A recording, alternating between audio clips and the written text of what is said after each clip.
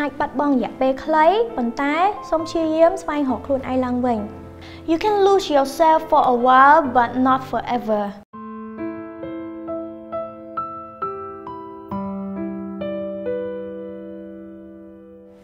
ជំរាបសួរក៏ដូចជាសួស្តីដល់ទស្សនិកជនទាំងអស់នាងខ្ញុំប្រេម៉ាថ្ងៃនេះនាងខ្ញុំនឹងមកលើកទឹកចិត្តអ្នកទាំងអស់គ្នាក៏ដូចជា share experience ជាមួយនឹងអ្វីដែលនាងខ្ញុំបាន find out ខ្លួនឯងក្នុងមួយរយៈពេលនេះនិយាយទៅសប្បាយចិត្តមែនតើបន្ទាប់ពីបាន release បទចម្រៀងនឹងហើយហើយក៏មានការគ្រប់គ្រងពីបងប្អូនទស្សនិកជនក៏ដូចជា fan fan របស់នាងខ្ញុំចាហើយអឺនិយាយទៅក្នុងអត្ថន័យបទចម្រៀងហ្នឹងវាមើលទៅហាក់បីដូចជា sad តែតាមពិតវាគ្រាន់តែជាបទចម្រៀងមួយដែលជួយនាំអ្នកទាំងអស់គ្នានិយាយពាក្យក្នុងចិត្តទៅកាន់បទចម្រៀងហ្នឹង ដើម្បីឲ្យ release ទុកសោកទាំងប្រមាណហ្នឹងចូលទៅក្នុងបទចម្រៀងហ្នឹងទាំងអស់ហ្នឹងគឺគោលបំណងនៃបទចម្រៀងបទមួយបទហ្នឹងព្រោះដោយសារអីវា work សម្រាប់ខ្ញុំវាហាក់បីដូចជាកំណត់ហេតុមួយខ្ញុំទៅសេនៅក្នុងហ្នឹងធម្មតាមនុស្សយើងម្នាក់ម្នាក់ចង់រកខ្លួនឯងឃើញតើតែ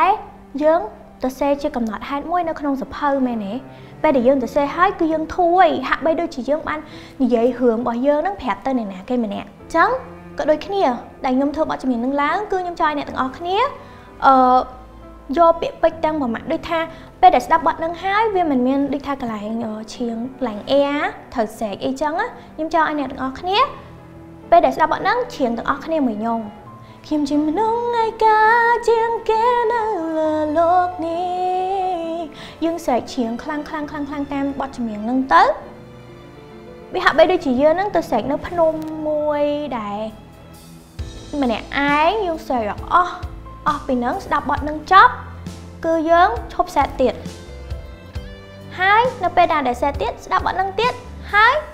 release វាចោលទៀតមិនមែនមានន័យថាឲ្យសែតហើយយើងទៅធ្វើអីផ្ដេសផ្ដាស់ហេមិនមែនទេគោលបំណងបទហ្នឹងគឺមិនមែនចឹងទេគឺចង់ឲ្យអ្នកនរគ្នាស្ដាប់ហើយសប្បាយចិត្តដូចយើងនិយាយរឿងប្រាប់គេអញ្ចឹងមិនសិនអ្នកនរគ្នាអត់ហ៊ានប្រាប់អ្នកគេអញ្ចឹងអាច ទៅច្រៀងមួយបទហ្នឹងបានដូចយើងប្រាប់បទហ្នឹងអញ្ចឹងបន្ទាប់ពីហ្នឹងពេលដែលខ្ញុំបានទៅសេបត់នឹងហើយខ្ញុំចាប់ដើម recover មានន័យថាខ្ញុំដូចប្រាប់គេអស់ហើយអញ្ចឹងខ្ញុំអត់មានត្រូវខ្វល់អីទេហងចាប់ដើម